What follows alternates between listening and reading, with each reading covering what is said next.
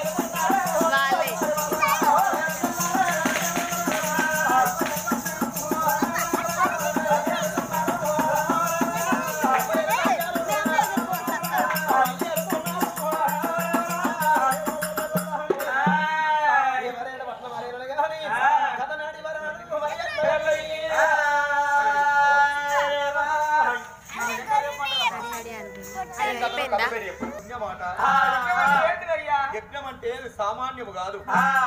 నూట ఎనిమిది ఓము గుండాలతోటి ఓము గాలిస్తే ఒక యజ్ఞం. రామాని ఒక్కసారి వన్నా యజ్ఞం వేసినంత పుణ్యమాట. రామ రామంటుంటే రోమ రోమాన రోగాలు దెంకపోతాయటరా? కారాకు దొల్లినట్టు వారి కరబొమ్మ దొల్లునాట. కానీ ఎనుకటి పెద్దలు. లైట్ ఆఫ్ తట్టలు తట్టలు రుమాలు చుట్టుకున్న పెద్దలు.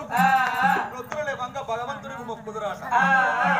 ఎక్కడ పోతే భగవంత ఆపత్తి కల్ల రక్షక ఆపత్తి కల్ల పందవ శంకర గరళ కంట గవిరి మోహన నీలకంఠ నిత్యానంద అని ఎనకటోళ్ళు మొక్కుదురాట ఇప్పటోళ్ళు పరమేశ్వర పాము గిలాస.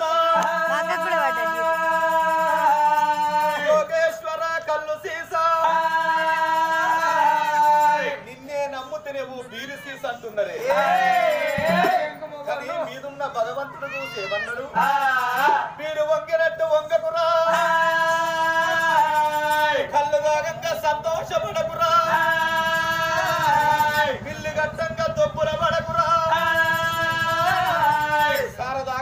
సంబరమే ఉంటది కొడక సంసారం వెళ్ళది ఎంగ తిప్పలు ఉంటది అన్నాడు మీదున్న భగవంతుడు.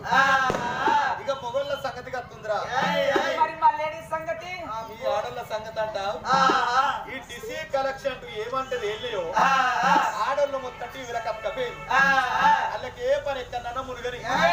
సిటికల్ సిలిండర్ ముట్టిస్తారు సిలిండర్ మీద బియ్యం పెడతారు టీ మూడకి తల కూర్చుంటారు ఇక ఆ పొయ్యి మీద మిడుకుతో పనికో వచ్చిన అయ్యను పిలుచుకొని చెప్తారు ఏమంటనే? అయ్యా నీ బాంచ నాలుగే ముచ్చెత్తున్నాయి ఇక సిలిండర్ మీద అంచుపోవుల్లో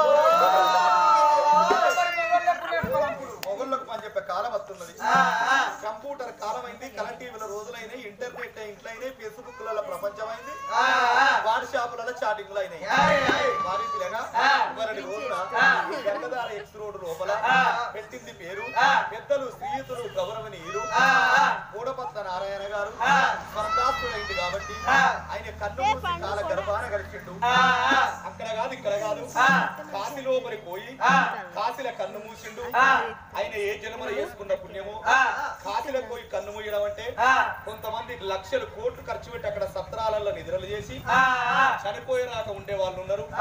కానీ ఆయన చేసుకున్న పుణ్యం కాశీ లోపల చనిపోయిన వారు సక్కాగా ఒక్కొక్క మెట్టు స్వర్గం ముడతారట.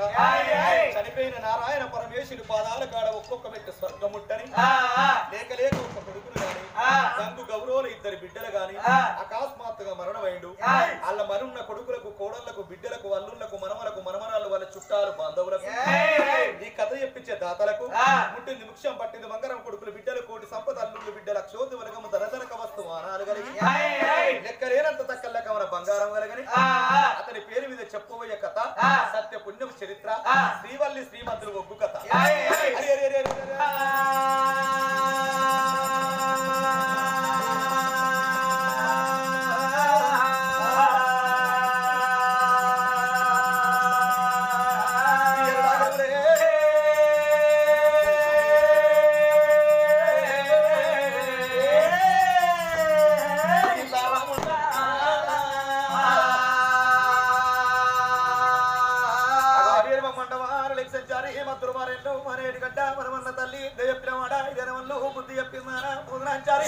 అమ్మవారు పార్వతి పరమేశ్వరుడు